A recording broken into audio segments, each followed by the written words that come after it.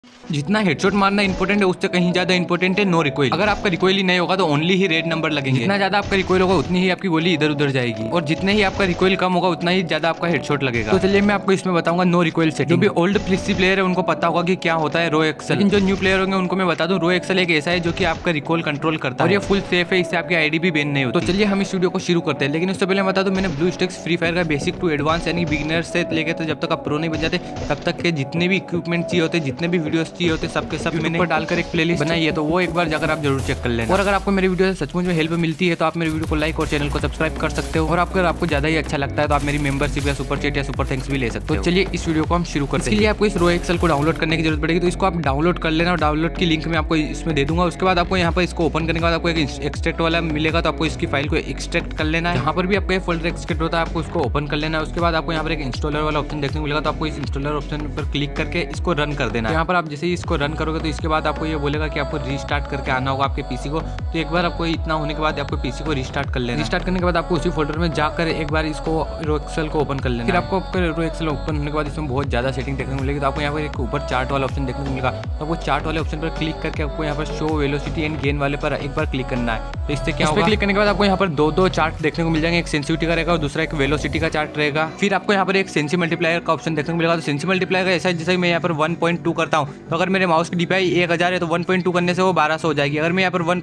करता हूँ तो वो उसके पंद्रह सौ हो जाएगी। अगर आप नॉन गेमिंग माउस यूज़ करते हो तो ये सेंसी मल्टीप्लायर का यूज़ करना लेकिन मैं तो गेमिंग माउस यूज़ करता हूँ इसलिए मैं सेंसी मल्टीप्लायर का यूज़ नहीं करूँगा मैं उसको नॉर्मल वन पे ही रहने दूँगा। यहाँ पर रोटेशन को आपको दो पर कर लेना है। इन सब वैल्यू को आप आपके हिसाब से थोड़ा बहुत सेट कर सकते हो। अगर आपके हेडशॉट कम ज़्यादा लगे तो आप इन वैल्यू को कम ज़्यादा कर सकते हो। फिर आपको नीचे यहाँ पर एक ऑप्शन ऑफ़ देखने को मिलेगा तो ऑफ़ वाले पर आपको लीनियर कर लेना लीनियर होने के बाद आपको देख सकते हो यहाँ पर कुछ और ऑप्शन आ चुके हैं। आपको यहाँ पर जो ये एसोसिएशन इसको zero point zero zero three कर लेना थोड़ी की वैल्यू को गलत कर दिया था, इसलिए मैंने बाद में इधर उधर थोड़ा एडिट करते टाइम किया तो यहाँ पे एसोसिएशन में यहाँ पर ज़ीरो पॉइंट ज़ीरो फाइव देखने को मिलेगा आपको, लेकिन वहाँ पे आपको zero point zero zero point zero नहीं zero point three three three कर देना है। फिर केप टाइप जो लिखा रहा है आउटपुट का तो इसको आपको आउटपुट ही रहने देना है। फिर यहाँ पर जो केप आउटपुट है जहाँ पर 1.12 डाल देना है यहाँ पर आप एक बार एक की वैल्यू देख लो यहाँ पे एसोसिएशन को 0.3333 कर देना है वहाँ पर केप आउटपुट को 1.12 कर देना उसके बाद आपकी कुछ ये लाइन है ना तिरछी हो जाएगी। देख सकते हो यहाँ पर आपकी लाइन हो गई है एक वाई लाइन वो तिरछी हो गई है। इतना करने के बाद आपको आपका इमुलेटर खोल लेना है। इसको अप्लाई करने के बाद आपको अगर आपकी ब्लू स्टेक्स की सेंसिटिविटी ज़्यादा या फिर कोई से भी जिस भी इमुलेटर में आप खेलते हो तो उसमें आपको लगे कि आपकी सेंसिटिविटी बहुत ज़्यादा हो गई है तो आपको थोड़ी सी आपकी इमुलेटर की सेंसिटिविटी को कम कर लेना है। और रो एक्सल बिल्कुल ही सेफ़ चीज़ है और बहुत ही अच्छी चीज़ है। और इससे आपको हंड्रेड एंड वन परसेंट ज़्यादा हेडशॉट मारने में मदद मिलेगी और रिकॉइल भी बहुत ही कम होगा इससे। फ़िलहाल आज के वीडियो में बस इतने अगर आपको वीडियो अच्छी लगे तो वीडियो को लाइक और चैनल को सब्सक्राइब करना। Thanks for watching